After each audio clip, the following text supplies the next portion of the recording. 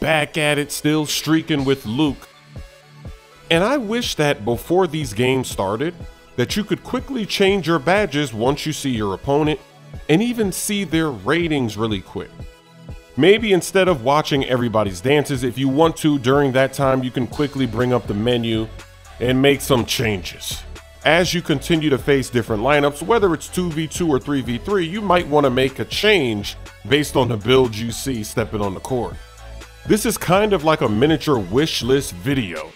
My view on the park is definitely skewed a little bit because I have this logo and I get games quickly, but I did play with Moses with no logo and when nobody knew that was my gamer tag, it was really hard to get games. You saw it in those videos and then when you win a game, nobody's coming over to your court because they're afraid of losing, they don't want to have competition. And you have to think, can you really blame them? In previous games, players would run away if they saw that you had a good record. They didn't want to play you. But something else is happening in 2K20. And look at Luke! Oh yeah! With the snatch block! Snatching souls! Yo! Yo! Yo! Luke is now a defensive stopper. This is hilarious. Every game he does something on defense. We got to keep talking about the flaws of the park. With this environment, obviously, it's designed in such a way that you get to determine your opponents, who you're going to play against. You don't have to step on those got next spots. You can look at those players. You can even watch their game and say, hmm, you see what they're doing and say, do I want to play against that guy or would I rather go over there and play against these bumps? 2K did a good job taking away the records, but the system where you're overall can go up and down. I like it. I like that you can go from 95 to 99, but if you lose a game, you get a 95 score no matter what happened in the game. It could have been a close game. It could have gone down to the wire, but if you lose, your overall rating is going down. So that discourages competition. A lot of people say, why would I want to go play those guys? Because if I lose, my rating is going to go down, and then I'm going to have to play more hours to get my rating back up to come back online to play and have some fun. I like the system because it doesn't take long to get to 99. Me and Luke, we both started these new builds about maybe three weeks ago and we're already 99, so I like that. But when you're losing, you shouldn't always get a 95 score. You should sometimes get a 96 or maybe a 97, 98. Why do you automatically get a 95 no matter what happens in the game just because you lose? Ooh, one of my favorite dunks is I'm spinning like crazy. So this is discouraging competition, and this also makes it to where people are never going to want to play with randoms. If you're a random, you have a tough time getting games because if I'm 97 or 98, why would I want to play with a random where I'm probably going to lose and then my rating is going to go down? When I was building this player up before I hit 95, I played some random games. It didn't matter to me. When I first made the build and I was 85 overall, I hit the park in a random session. I just wanted to see how my player moved. I played 3v3, so I don't care. It doesn't really matter. But once I hit 95, I'm not going to dare play with these randoms. I'm not going to risk it. I don't want to have to spend more time to get my rating back up so I can play when my friends are online.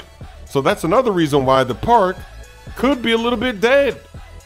Because people don't want to play with randoms. They never want to play with randoms. Because nothing ever good happens when you play with randoms. And now your rating can actually go down when you catch an L. And look at this guy, he's about to catch an L. He tried to go through the legs. We got to keep it real though. Some players, they just don't have that competitive aspect to their game. So no matter what you do, they're never going to want to play good players. But you have to admit, there's a lot of discouraging factors from playing good players. And this game was crazy. We literally could not end the game. They're going to come all the way back because Luke cannot make a shot. And you know Luke knows his shot. And even in this game, he was making his shot. But at the end of the game, there was a switch that got flipped. And 2K just said, we're not allowed to score. So now he has his takeover. He's dunking on us. It's a one possession game. Has this ever happened to any of you before? Have you ever been in this situation where you just can't end the game? We're going to get a stop though. He blows the layup and I've had enough. I was trying to give Luke the last shot so that we can both have 10 points, 11 points or so, but we just got to end it because this is some cheese. We got to get up off the court and see that's what happens sometimes in this game. You might have a game where your shot is just not dropping, or maybe you even have a full on session where your shot is not dropping. But that doesn't mean that you need to change your shot. I know some people in 2K, every day they're changing a shot. Every week, they think it's the shot. It's really not the shot. It's just that sometimes you get hit with the cheese. Just gotta take your L and come back later, and you'll do better next time. Don't give up on your shot. You know it's a good shot. Like Luke, he knows what he's doing. He doesn't have to lose confidence in what he's doing. Just keep doing it, and you know it's gonna go in. Like me, I just keep taking the shot. I know it's money. Even if I miss that shot in a game, I'm gonna take that shot the very next time I get it. Another feature I'd like to have for the park is the ability to change your matchup.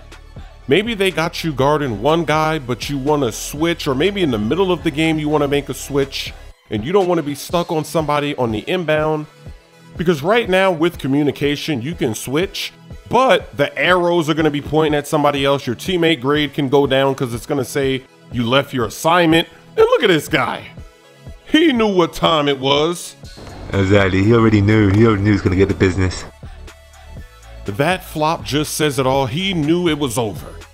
But that's another thing. Now your teammate grade can go down if you're making a switch that can help you win the game because your arrows are going to be pointing at somebody else. It can be confusing, especially when you're playing with randoms that don't communicate.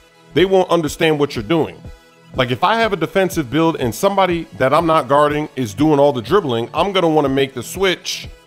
But if I do that, my teammate grade can go down. It can get confusing, especially when you're playing the rec center or pro am. It's the same thing. You can't make a switch. You should be able to make the switch. Somebody on the team should be able to say, hey, you guard that guy. So on inbounds, checkups, whatever, you're not all out of position and out of a mismatch. This year, it's actually worth it to be a legend in 2K20. Obviously, most people can't do it because you have to play too many hours, but for the people that get there, the fact that you get 10 more badges in every category, that's huge. Because now you can completely transform your build. You can even make a new build. Because when we're creating our build, a lot of times we're putting attributes in certain places so that we get a certain amount of badge points for each category. But if you know you're going to get 10 more, that completely changes everything. So it's actually worth it for everybody that made it to legend. It's some cheese. It's beautiful the builds that you can make. Like this build I'm playing on, if I knew I had 10 more badges, I could put attributes and ratings in different places and he would be even better. The only bad thing is, all of these legends, when 2K21 comes out, they don't really get anything for it. What if they would let you carry over some progress? What if they gave everybody that was a legend maybe plus three badges in every category, or maybe just plus two? Give them something. Putting their name on that little stone, what is that? That doesn't do anything. Look at Luke diving again. Luke is the hustle god, the defensive demon, the defensive cheeser. So if 2K did something like that where you could carry over a little bit of progress, then maybe the people that aren't legend would fight to get to legend. Like right now, let's say you're an elite. You might say, okay, if I know this is going to carry over a little bit of progress, I'm going to get some type of benefit, maybe I'll make the push to legend. But since it's not, you're like, ah, there's really no point because when I get to legend, by the time I do, it's going to be 2K21 anyway. If they did something like that, it would just make people want to play the game even more, I would think. Maybe the park would have more activity out there. So I've been talking about little features here and there, but obviously for the park, we want different locations, we want affiliations. Because that's something that everybody is missing. It was crazy being able to say, we're gonna pull up to Sunset today, we're gonna go to Rivet City today. Just having different locations is gonna make it easier, better. You're just gonna be looking at better designs. You're gonna be playing this game for all these hours. You wanna see something different. You don't wanna see the same thing you've been seeing for the last few years. It's gonna be interesting to see what they're gonna do for 2K21 because you know with the new consoles, you know they're plotting and planning something.